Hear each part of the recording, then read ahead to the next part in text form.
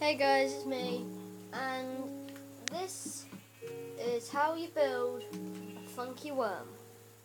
Look at it. It's got this bit. It goes boing. One minute.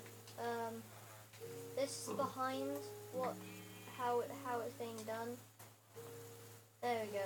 Right. So the light's flashing on a separate rail. And so then all these on a different rail. Is built an outline. I put a villager on top of a minecart so he would stay there. Sorry. And then I put these things, glowstone lamps, or redstone lamps even. And then all it is is fast um, tracks, normal tracks, um, pressure plate tracks. Right, so they are powered rails, normal rails, and detector rails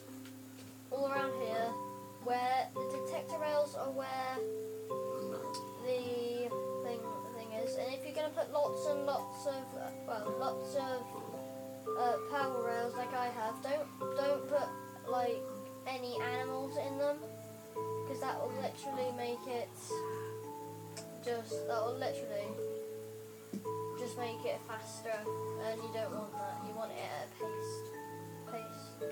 Not it won't be going shoo. You want it to go like like mine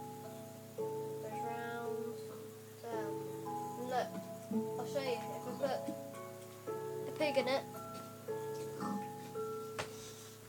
Nope way and plus it kills the pig. But look if I go here, if you want it at that speed and you want to keep resetting it by putting a different animal in it,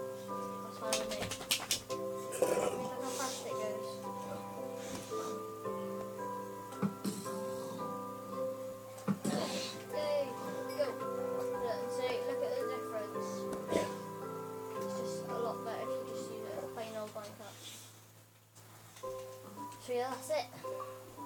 Derp, derp, derp, derp. Don't, don't drop that derp, derp. Yeah, don't drop that derp, derp. Don't drop that derp, derp. Um, don't drop that derp, derp. This is my derpy one. Goodbye.